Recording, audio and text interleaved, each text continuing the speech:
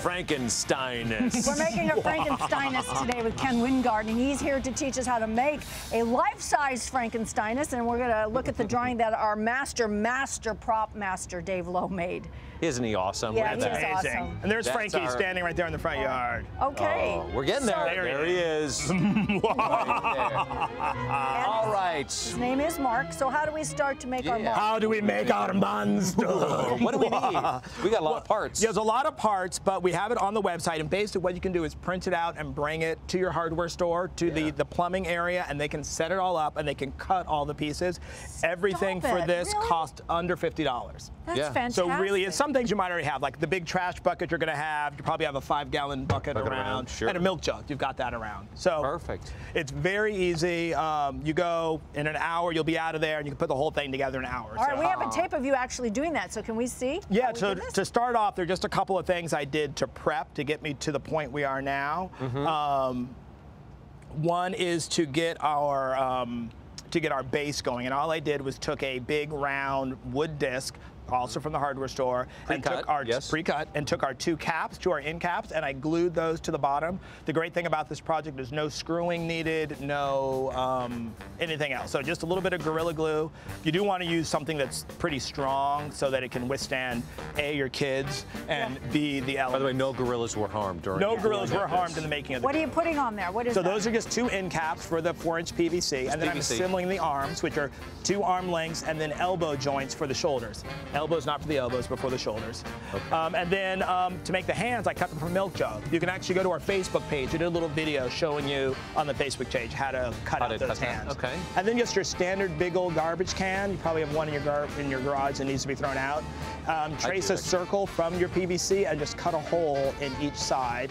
And that's all I did to get us to this point. So that was, took me about 10 minutes. Okay. And now we get to actually assemble him. Mark, you want to help me out here? I will help you. So here's our two our two feet we put down, Okay. and we're gonna get these legs, pop them in.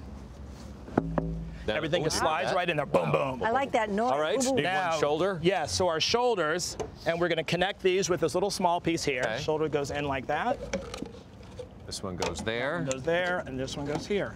Okay. well, we'll together. There we go. There we are. There we go. There we go.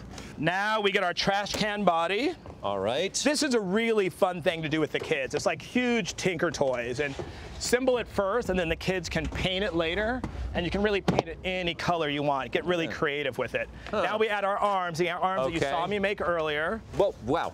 right Careful. and There left with our there milk jug hands.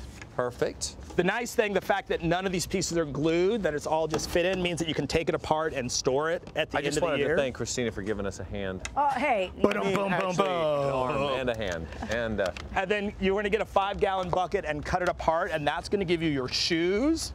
And then, Christina, if you want to pass us the final green bucket there, Yes? but wait, shouldn't it? He's Frankenstein. His arm should. you can be like, "Roar." There's a green bucket for you. on the top for the head. This goes this.